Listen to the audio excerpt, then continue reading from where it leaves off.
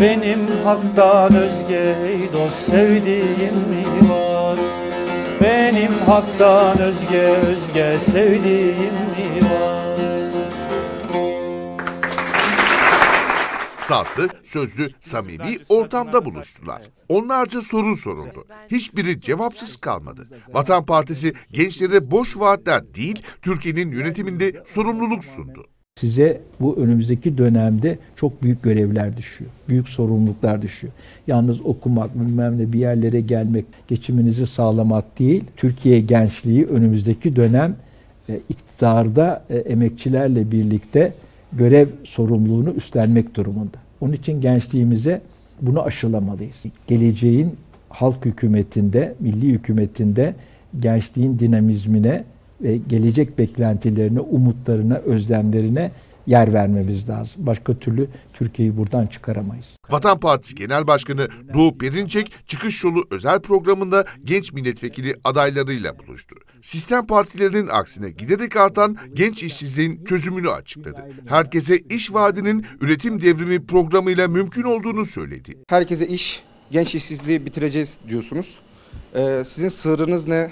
Bunu nasıl yapacaksınız veya bunu diğer taraflar bilmiyor mu? E, Türkiye'nin e, iç kaynaklarıyla veya dış kaynaklardan e, yatırım sermayesi üreterek değil mi? Yatırım sermayesi de sonuç itibariyle emeğin ürünü. Yani Türkiye emekçisinin ürünlerinin bir kısmını tasarruf ederiz, tüketmeyiz ve o tasarruf ettiğimizde yatırım yaparız ve şeye işsizliğe son veririz. Yani yatırım ne demek? Fabrika açmak demek, tarıma ve hizmetlere sermaye e, tahsis etmek demek. Dolayısıyla e, iş sahası açmak ve insanlara iş bulmak demek. Burada tabii şey nedir? E, anahtar olay ta- tasarruf. Tasarruf çünkü eşittir yatırım. Binlerce genç torpil nedeniyle mülakatlardan geçemiyor. Cumhur İttifakı da Millet İttifakı da bu sorunu ortadan kaldıracağını iddia ediyor.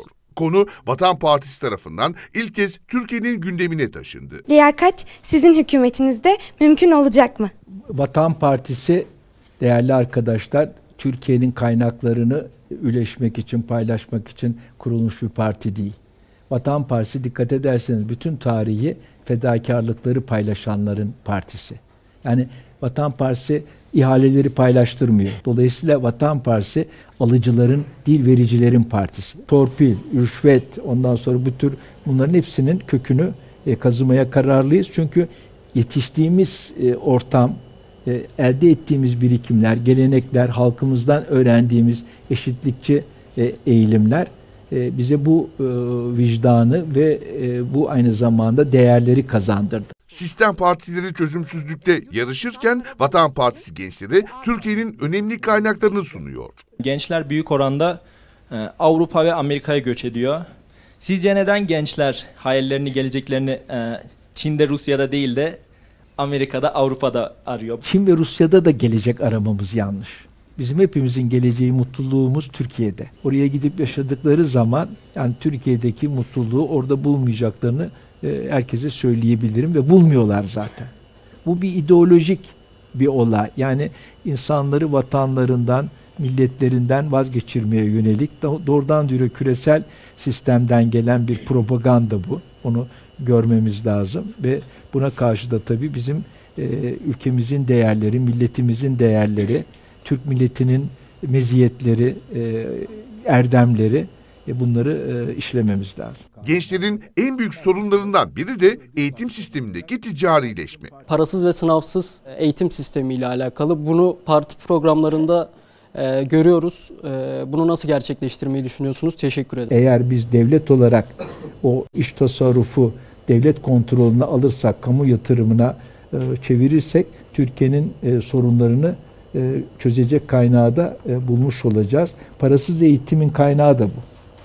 Türkiye kendi kaynaklarıyla e, çocuklarını ilkokul, anaokullarından başlayıp üniversite sonlarına kadar parasız e, şey yapabilir.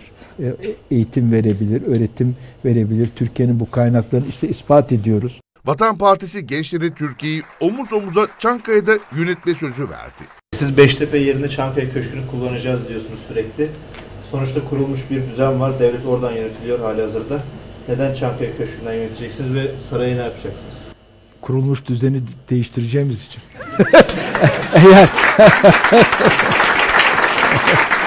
yani halkımız büyük e, sıkıntılar içerisinde ve şu anda ben bu düzenden memnunum diyen tabii bu düzenin e, yiyicileri de var, soyguncuları da var. Bu düzenin kaymağını yiyenler de var. E, onlar çok küçük bir azınlık ama onun dışındaki halkın büyük kesimi e, bu düzenin değişmesini istiyor. Çankaya'dan Türkiye e, yönetilecek. Çankaya çünkü bir devrim karargahı. Türkiye'yi Çankaya'dan yöneterek kurduk. Önümüzdeki milli demokratik devrimi de Çankaya'dan kurabiliriz.